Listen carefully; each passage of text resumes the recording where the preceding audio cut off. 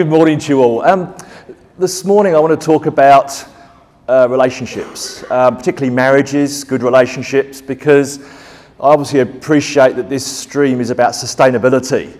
And when I was thinking about sustainability, I often think about sustainability, not just obviously work life, but also personal life. And I have a confession to make because incidents do make you stronger. I am on my second marriage and final, and it got me thinking about sustainability.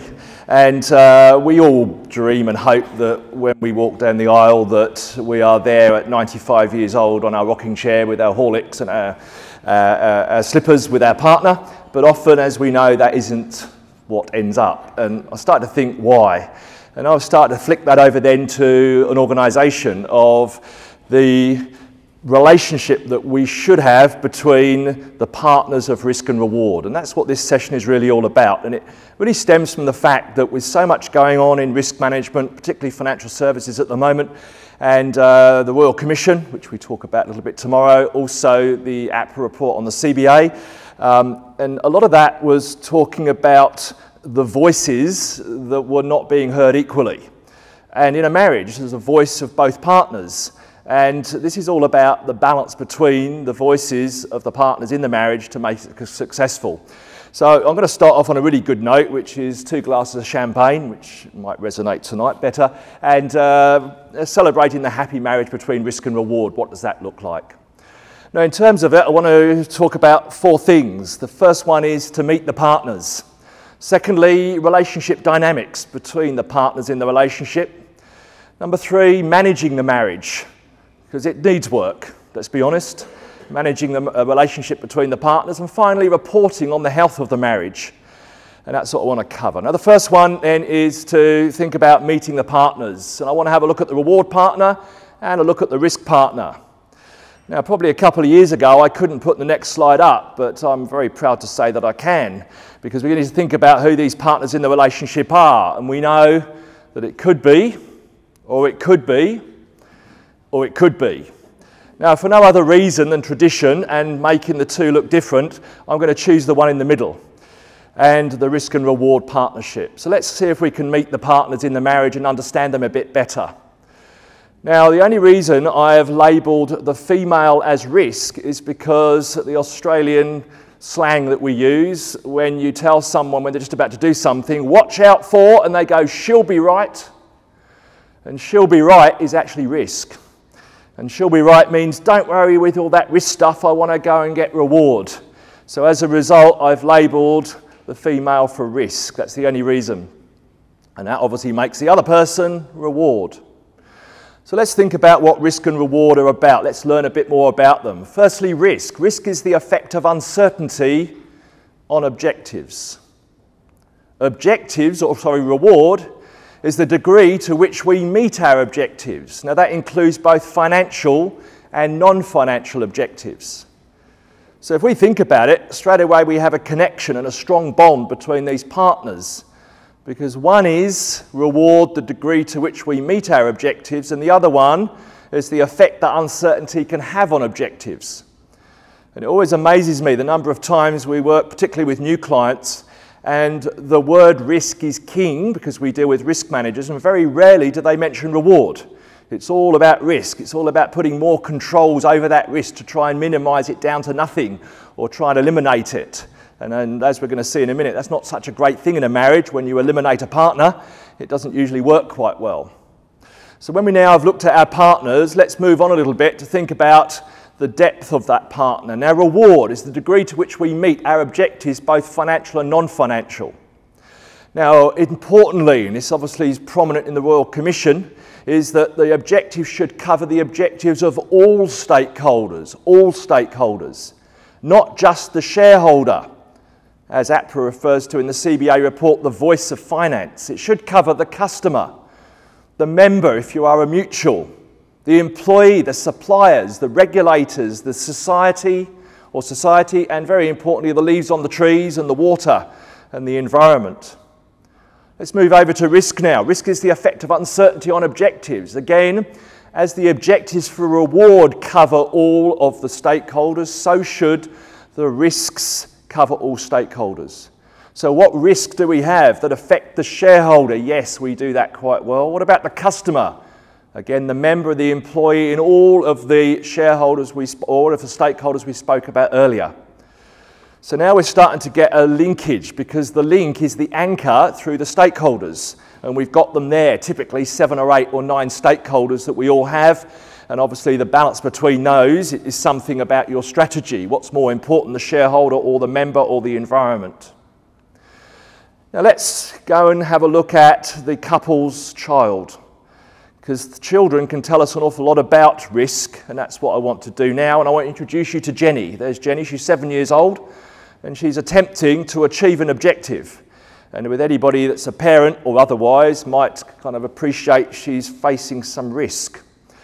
Now, let's have a little chat with her about what she is trying to do from beginning to end. And number one is what is Jenny's or what are Jenny's objectives? And they are them. Now, the most obvious one for a child is number one, to have fun. But she's a great kid. She also wants to be safe, and she's a fantastic kid because she wants to comply with the park rules. Now, as with our own objectives in our organisations, we'll prioritise these objectives, and I'm sure the child would prioritise number one above number two, above number three. And it's very important we as organisations also prioritise our objectives and are very explicit with what those prioritisations are. We'll cover this later, but when I see an organisation that tells me that they are there for the care and the value add to the customer, and they promote that on all their materials, and then they go in house and they talk to the brokers and go, mate, just sell, sell. And we've got something being said externally and internally. We're actually reprioritizing for the voice of shareholder over the voice of customer. Might sound familiar in financial services. Now, once we have our objectives, risk doesn't come from the objectives, it comes from what we need to do to achieve the objectives. So, the second step to feed us into risk is what are the critical things that Jenny needs to successfully achieve in order to meet her objectives. And I would put to you there are three things. She needs to get up to the top of the rock safely, play on top of the rock safely, get back to ground level safely. And if she can achieve those three steps, she's achieved her objectives.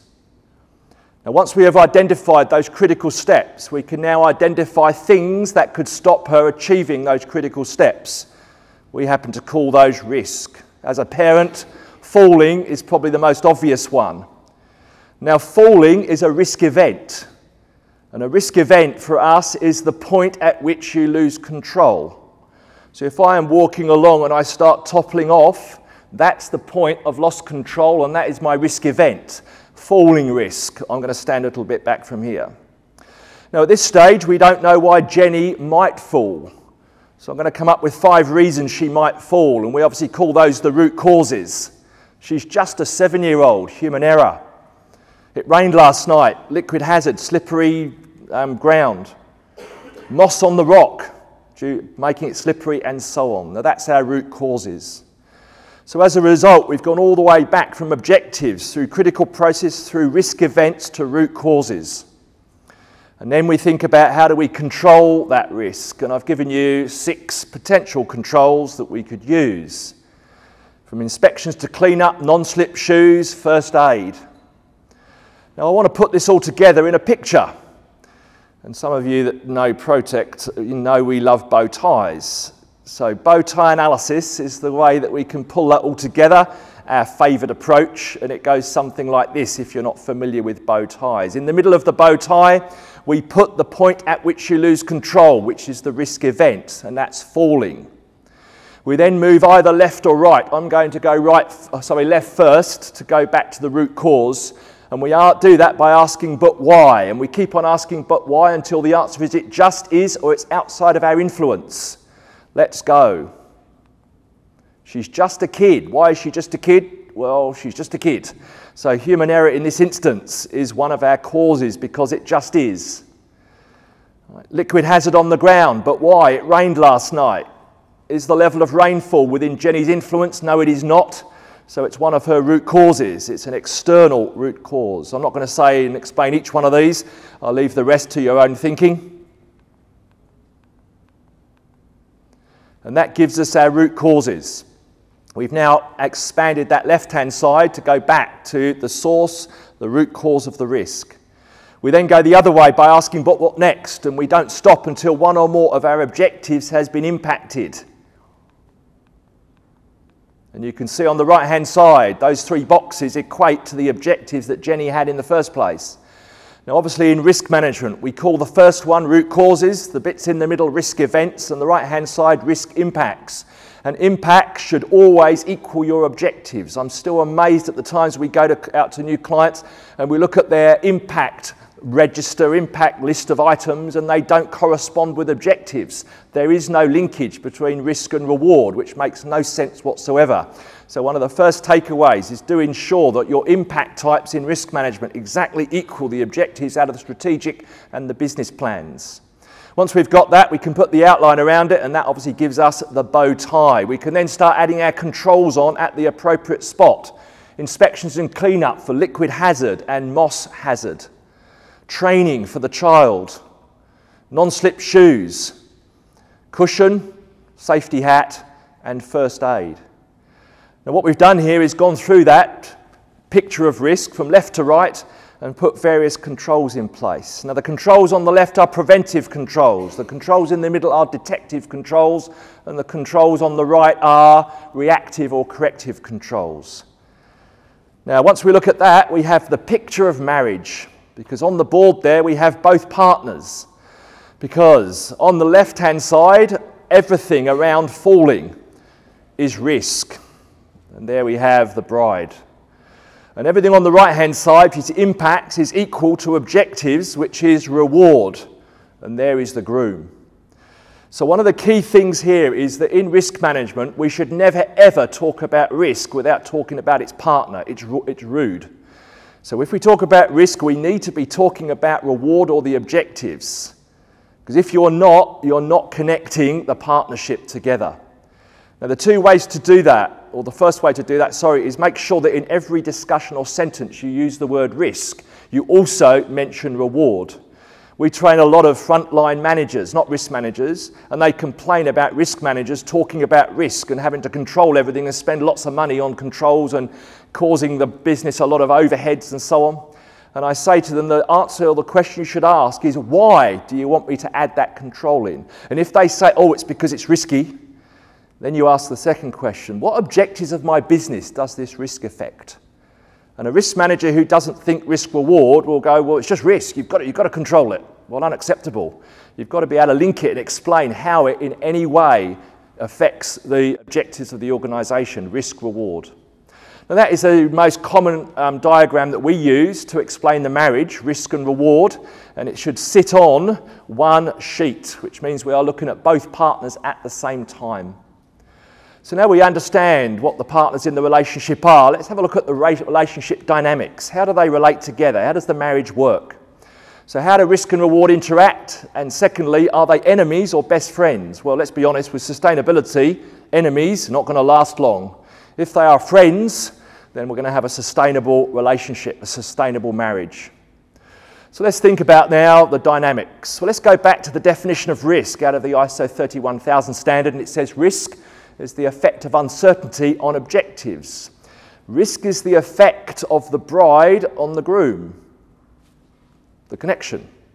Now, if risk is the effect of uncertainty on objectives, managing risk must be managing the effect of uncertainty on objectives. So I would put to you, sorry for all of you in the room, risk management as a discipline is ridiculous. I don't know why we call ourselves risk managers, because that's not what we really do. What we really do is that because we are managing the effect of uncertainty on objectives. So what we're really doing is managing objectives. So I wish our industry was actually called outcome managers. Now this creates magic. Why? You go up to your frontline management team or CEO or whatever and say, Good morning, I'd like to have a chat with you. And they go, Who are you? I'm David from Risk Management. They look at their diary and, and miraculously, there's no room for six to eight weeks. I'll come back to you in 10 weeks. Good morning, it's Dave here. Where are you from? I'm from Outcome Management. At the risk of sounding like a consultant, and you, they say, What do you do? And I say, I'm here to help you nail your objectives. I bet they're going to say cappuccino or latte. I bet I get a seat at the table on day one. So the first thing to remember that we're not risk managers, we are objectives managers. And each of you that are as a risk manager, I want you to add a translator chip into your brain right now and give one to every employee in your organisation. And it works like this: slot it in right now, and it goes. And every time you hear the word risk management, you say to yourselves outcome management. And your face will go from a grimace to a smile because you're now talking about the relationship between risk and reward, not risk in its own right. So let's have a look at outcome management as an example. Uh, this is a lovely main road in Nairobi in Kenya. We, used to have an office over there, but um, because of the roads like that, or partly, that's the scenario. Our objective in my example is to get to the end of the road safely. The potholes obviously represent risk because they create uncertainty as to the achievement of my objective of getting to the end of the road safely. So let's have an approach at management wise how we might try and achieve our objective. Number one, just floor it flat out drag race up to the end, hopefully jump over the potholes. Now, this is about She'll Be Right Brigade because they want to get to the end of the road. When you mention the potholes, they, ah, oh, she'll be right. What could be the result of this? Well, the first time they go, they might luckily make it. Second time might luckily make it. Seventh time. On the eighth time, however, that's what happens. We call this boom bust management. Boom, boom, boom, boom. All the time, life is good. Something comes along, bust. And we're very good at that in business, particularly financial services. It usually takes seven years for the bust to come along, but it does. Now, this kind of relationship is where the male or reward is the biggest, and the female risk is tiny because we're not listening to the voice of risk. And that will be boom, boom, boom, bust. Because after a while, the risk partner who's being ignored gets kind of annoyed and frustrated and bursts out of the closet and go, Remember me? Who are you? I'm your partner in your marriage. Oh, sorry, I forgot about you. And then we have the global financial crisis. And then we worry about the risk partner lots and ignore the reward partner. I'll come to that later. So that is not a happy marriage. Number two, we look at the holes and they scare the hell out of us. And we are so paranoid about falling in a hole, we are so scared we give up. I'm not even going to attempt it. This is called avoidance or elimination. In this instance, obviously, zero success. We just give up, we go home, so we're never going to achieve anything. Right? And in this instance, we've got a tiny male reward and a really big female risk because we're focusing too much on risk in this scenario. Number three, we look at the potholes, they scare the hell out of us, but we really want to get to the end of that road. So, what do we do? We buy some really big wheels and tyres. It slows the car down dramatically and costs an absolute fortune. So, it takes us two hours to get to the end of the road, and by the time we're there, we're bankrupt. Now, this is the same problem as the first one, but for a different reason. And this is where the male is very small. We're not worrying about reward. Cost doesn't matter, and risk is huge. Same as the one before, but through too many controls, bogging the business down. So, what's the solution? I would suggest that. Smartly maneuvering around each pothole as you come up to it. Quick left, quick right, 25 kilometres an hour, slow down, brake, left, right, and we weave our way up through the road. Now, as we're doing that, we are now focusing on the reward, yes, and we are focusing on risk, but we're not overdoing it. I would put to you that there is where we will get success. And success is sustainable reward. It's not boom, boom, boom, boom, boom, boom, bust. It's boom, boom, boom, which is reasonable profits, but not crazy. But we can keep on repeating that year after year, and we'll end up with our partner at 95 years old still holding hands because we've got a balance between the two. Now, that to me is success. That's what sustainability is all about. My number one objective in risk management is sustainable reward. That's it. That's what we do sustainable reward. So, to sum that up, then, if we look at the partnership, reward is the main focus, risk is secondary, she'll be right, boom, bust. Reward, secondary focus, everything's too risky around here. Our main focus is risk, no boom whatsoever, therefore long term bust. 50%, 50%, equals long term sustainability. And that is the dynamics between the partnership.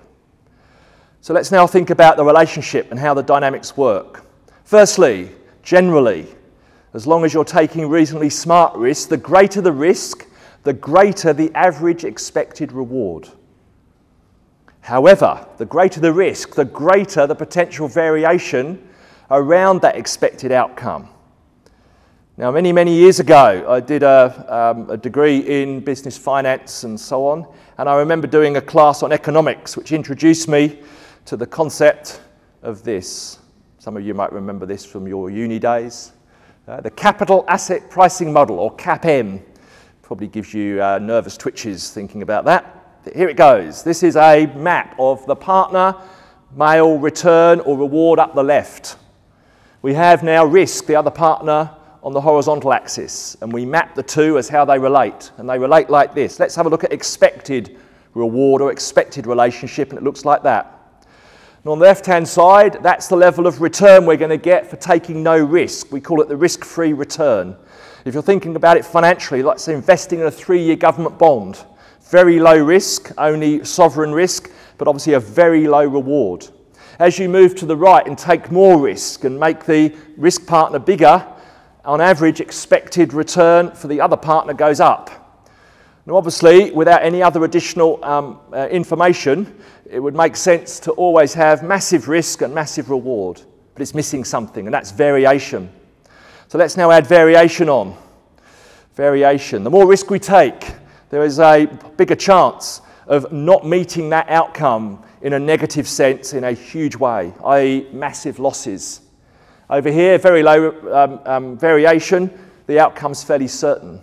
Equally, though, as long as the risk has an upside, we call it opportunity risk, it could also be that, where we take a risk and the actual outcome is better than what we expect. And this is really important in risk management is that we've got to appreciate that some risks have an upside and a downside, where some risks have downside only. Downside only we call threat risks. Ones that have an upside, the upside we call opportunity risk, and the downside threat risk. Now, obviously, we need to be smart about this because the opportunity risk can actually add to our outcomes, the green side, threat risk can hurt us. Maximize the upside, minimize the downside. Now, one of the things that we're going to talk about in a minute is how far up this side can we go? How big can we get the risk partner to be? Well, that's determined by risk appetite. In this instance, it tells me the marriage can never go further right than that blue line. That's our risk appetite. All right, now I'm going to talk about risk appetite in a second. So the key is the higher the risk, the greater the expected reward. However, the greater the variation around that expected outcome. So now we understand the relationship dynamics. I want to talk now about the managing the marriage. The keys to a happy, sustainable marriage making great relationship decisions, because a lot of what we do in risk management should be focused on helping our people make better decisions. In a marriage, good decisions will equal sustainable marriage. And finally, incentives for success. Let's have a look. Now, the keys to success number one, understand each partner really well. Get to know your partner extremely well before you go and walk down the aisle. Know each other. So, get to know reward really well and get to know risk really well. Understand the needs of each partner. What is the needs of reward? Where does that come from? Strategic plans and business plans. Understand the needs of risk. What are the risk targets? What are we aiming for? What's the right balance? Understand the boundaries around the relationship, particularly around risk appetite. Ensure both partners have equal say in the relationship. I would argue a relationship when one partner dominates the other is not going to end in uh, a happy position. It's going to have a limited life.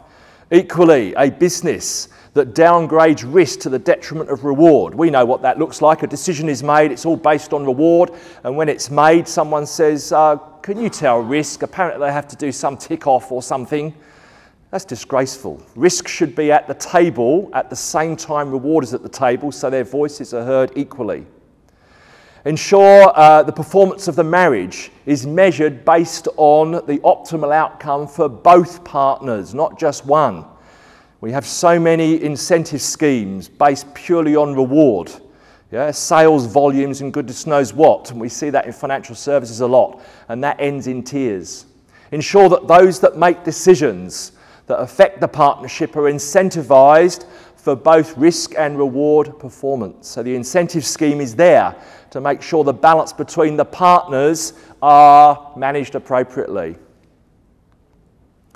So let's go to two of those. Let's understand then the reward partner really well. And for that, we need a really good strategic plan, which is where do we want to be in three years' time, and a great business plan of how are we going to get there.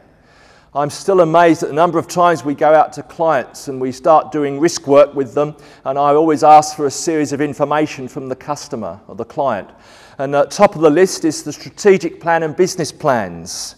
So many times I get a call back saying, We want to know why you want these. And I just shake my head and go, What on earth is happening?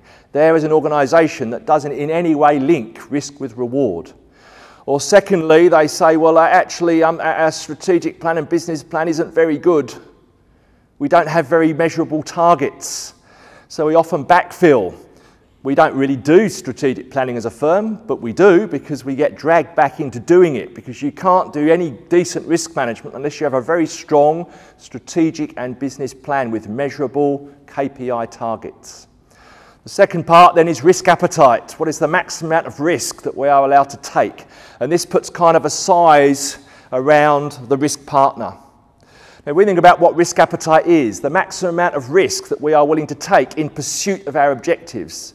So, how big, I don't mean physical, but how big can the reward risk partner be? Because that is going to determine the maximum size of the reward partner because they are linked.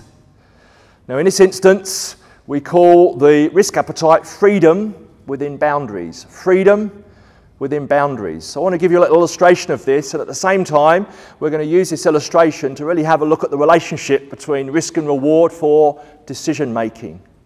So let's start off then with risk appetite an illustration. I want you to imagine that you and your partner have two children, Jenny, we've already met Jenny, and Johnny. And this weekend you want to go to the local park and your objective with your partner is to have wine and cheese and chat about the film you saw last night uh, on a picnic rug in the middle of the park. There it is there, the picnic rug. Johnny and Jenny, they got a different idea. They're off. They want to go play. They want adventure and fun. They go, We're off, Dad, Mum. And you go, Wait a sec, before you go, don't go too far away. Why? Because over there there's really high trees, there's a rock ledge over there, there's a main road over this side, a river over here. And we know that the further they go away from the picnic rug, the greater the risk. It's a risk proxy or a risk indicator. In addition, we can't supervise them as well, so our controls are weaker the further they go away. So Johnny says, How far's that, Dad or Mum? Now, you're not allowed to mark the park, so the line's a little bit, of invis- a bit invisible, but it's about there in your head. And poor old Johnny doesn't know quite where that is, and you have to explain it. So you say to Johnny, It's a pretty big area. Now, in our view of the world, um, big is risk appetite. Appetite is the size of risk manifested in a qualitative measure. Qualitative. It's fantastic for mum and dad to discuss the relative risk appetites we have. Now, mum and dad might say, well, playing risk, medium, sugar risk, zero. I don't know, I'm making this up. So it's good to articulate the relativities between your different risk types. However, poor old Johnny doesn't know what big is, so it's not very good to operationalize into the business so that your business decision makers can make decisions. What do we need? We need a measurable metric that supports that appetite. I'd suggest the best one we might have is meters from the picnic rug. So we now put 22 meters away. Now that is a tolerance supported with a measurable indicator. Now, we are assuming Johnny and Jenny know what's, what a meter is, so we need to educate them in what that indicator means, but we'll assume they do. And once we've got that, they now know that they are free to play within that circle, but they're not allowed to go outside, and they are free to do what they like in that circle to have fun. Now, ordinarily in risk management, we generally like colours. So, what we generally do is we have an inner sanctum called the green zone, which means within appetite, no action required, is what most of us say. Between there and the boundary, we usually have amber, which means within appetite, raised attention, and outside is pretty obvious, which is outside of appetite, action required. Now that then gives us our classic rag, red, amber, green. Some of you might have red, amber, green, pink, blue spots, whatever. It doesn't matter. I've just got three. It seems to be the most basic. Now, in addition, we've got capacity. And capacity is the point at which you take risk that could threaten your survival. And that's when Johnny and Jenny walk across the main road over here or go into the river. So we have now capacity, maximum risk we're able to take. Come back in, we have appetite. Come back in, we then have a trigger, which gives us our green, amber, red. Now that then gives us a maximum amount over the size of the risk partner. Now that is critically important because the bigger the risk partner on average, the greater the reward, but equally the greater the potential variation. So you want the kids to have fun, but you don't want to risk their personal health to a degree, which is obviously potentially going to be long-term injury. So that then leads us to relationship decision making.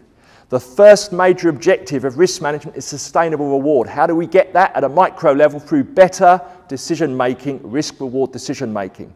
Now, when you make a risk reward decision in a relationship, in your business, step number one is to ask the question, can I? The can I test. And the can I test is, is the level of risk in the decision within your risk appetite? If the answer is no, you can't. If it is, you can. Now, there's a second risk appetite called society's risk appetite, which is given to us by compliance, compliance obligations. So, is it within the law, yes or no? Is it within your risk appetite, yes or no? If either of those answer is outside, the answer is we can't do it. If it's within, it means we might do it, but not necessarily we will, we might.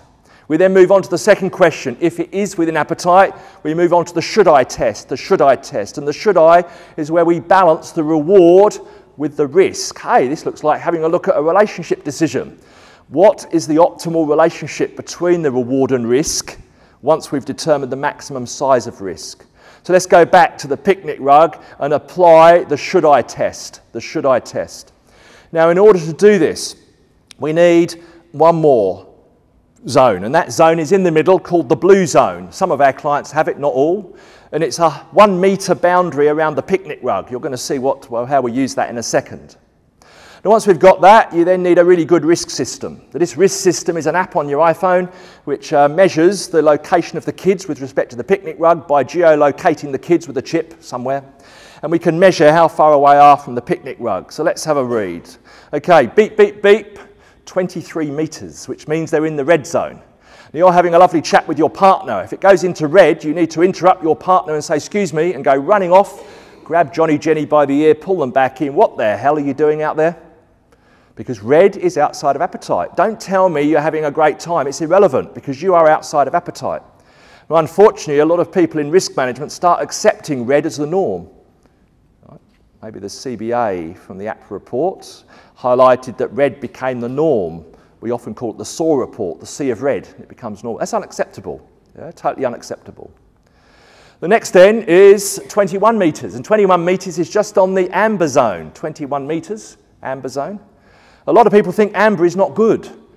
Right? I disagree. It depends on the other partner in the relationship. A lot of people go, if it's in amber, get it back to green. Not necessarily.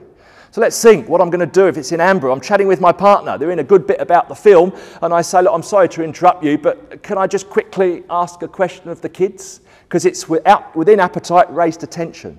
So what I do now, I call over to Johnny and Jenny. I go, What are you doing over there? And the first thing they say is, Ah, we're playing our iPads. What am I going to say if they're playing their iPads? I'm going to say, for God's sake, come back into the picnic rug.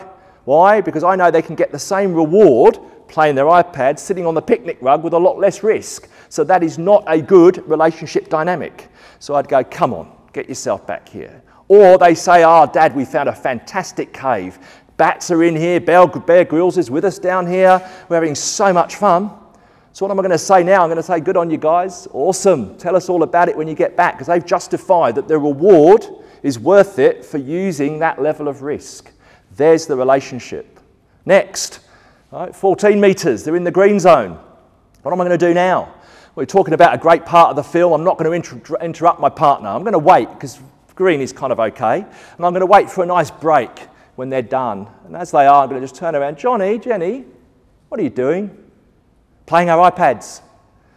Oh, guys, look, yeah, I know you are, but honestly, come back to the picnic rug. I'm pretty chill because it's green, but it's not optimal because I can get a lower risk for the same reward. Or they might sit and go, oh, we're playing tag, we're having kind of okay fun. I go, yeah, cool, because they've now met risk reward. Or they might go, oh, we're bored, we want to go home. What am I going to do then? I'll say, God's sake, get out to the cave, go and take more risk because the reward is not worth it. And then the favourite spot for me is 0.5 metres on a picnic rug, uh, whinging, moaning. I've had enough, want to go home. What are you going to say to the kids? Well, the first one I'd say is, Why are you whinging? And oh, I just had enough. What are you going to say as a parent? I know what I'm going to say. For goodness sake, go away. We brought you here to the park to have fun and you're moping around the picnic rug, i.e., take more risk. And a risk manager should encourage the business to take more risk. And I know it's against a lot of philosophies, rubbish. We are risk managers, we are not risk minimizers. And if we're not getting enough reward, we should be pushing the business. In financial services, we talk about the three lines of defense. I don't like the word defense, it should be called the three lines of defense and attack, because attack is when we're taking too little risk. Or they go, Oh, Dad, I've broken my leg. If they've done that, they've justified why they are taking little risk, and I would be remiss of me to go, oh, for goodness sake, go away. I'd be going there, there, there, fix it up, and it's okay to be in that zone if you have a reason. Now that is then bringing the can I, should I test together, and you can see the importance of the relationship dynamics once you are within the area of freedom.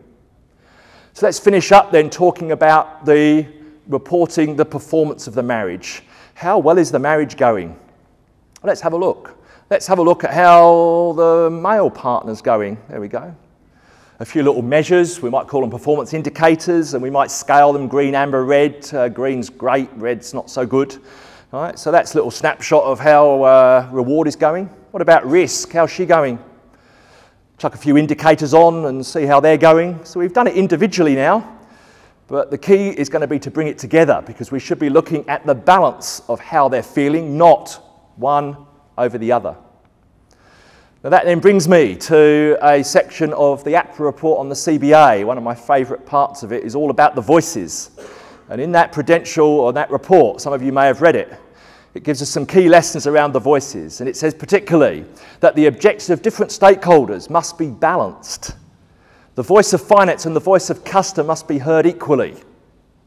The short and long term objectives must be balanced. The voice of risk must be balanced with the voice of reward. Sound familiar? Bonuses linked directly to sales volume relating to how the groom is feeling alone is unacceptable because you're only looking at one side of the equation. Bonuses should be linked to a balance of metrics covering all relevant stakeholders and both risk and reward, which is the state of the combined partnership. So, balancing the voices, what might it look like? Well, here's the voice of the groom. Here's the voice of the bride. Now, it's slightly more complex than that. There's not only two people in this relationship, I won't go any further with this analogy, but there's lots, because each of the stakeholders has a partnership. The voice of customer, the voice of shareholder, the voice of employee, the voice of supplier, right? And what we have therefore is a matrix, and we have risk and reward, but by stakeholder. Now, if we look at that and we measure all of that and we put the two together, it might look something like that. Now, without knowing the metrics that's gone behind that, how do we feel about this organisation? Well, I would figure the shareholder's pretty happy. Rewards good, green, and amber risk, pretty good. Customer, oh dear. Can't really care about the customer, do we? Both red on both reward and risk. The voice of customer is not being listened to. Employees, happy days. Great reward, very little risk for the employees. Sounds like a fairly selfish organisation to me. Shareholder and employee are king. Right, regulator, not really happy. Society, don't seem to care too much about that.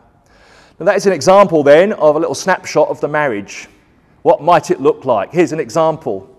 Over on the left here, we have the performance of the groom. On the right, we have the performance of the bride. Now, again, without looking at great metrics, what does this tell us? Well, again, shareholder, happy days.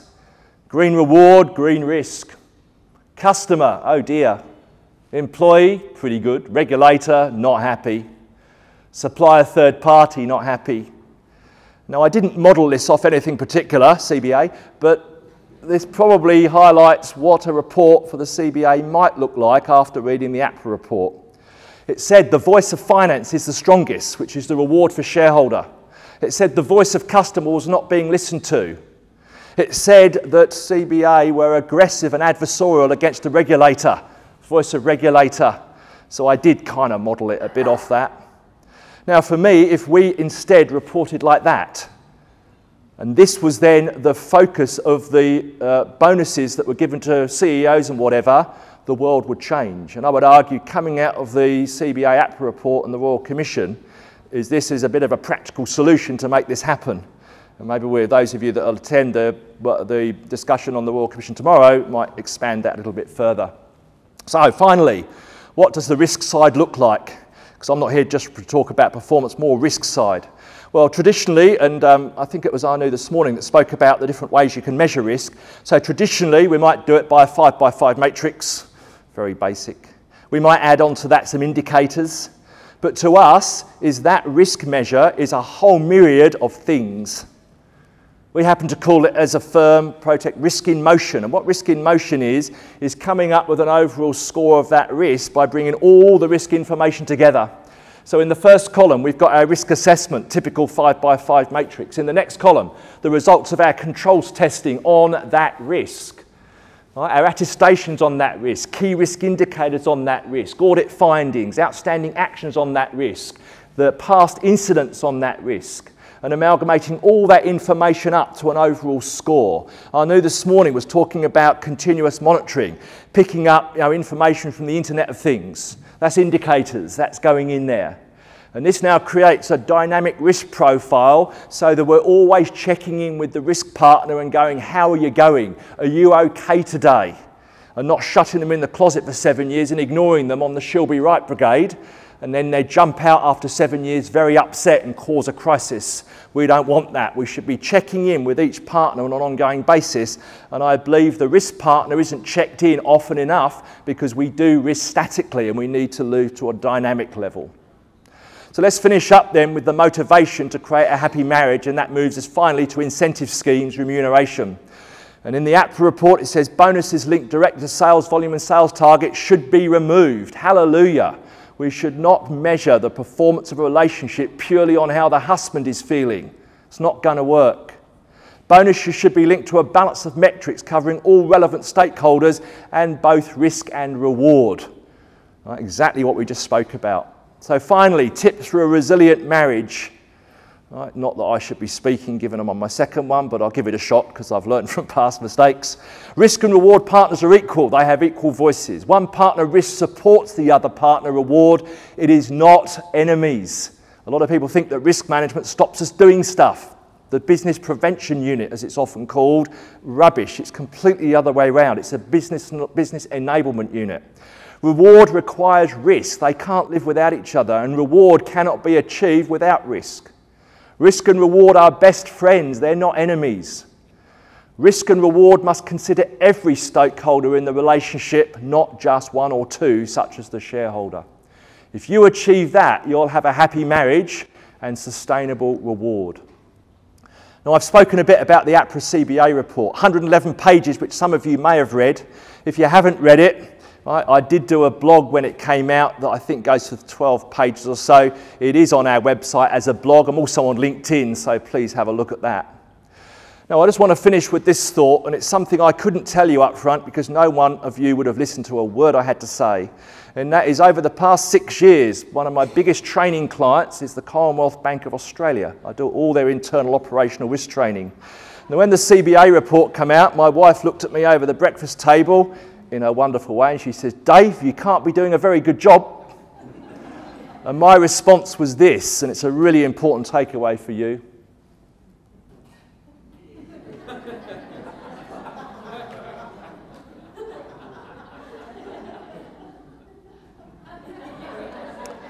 Okay, and all the training we do and these conferences you come to, we can show you, and you know because you're here, but we need to show people, all of us, all of our employees, the wonderful lake that is risk management. Beautiful water, very good for your health, right?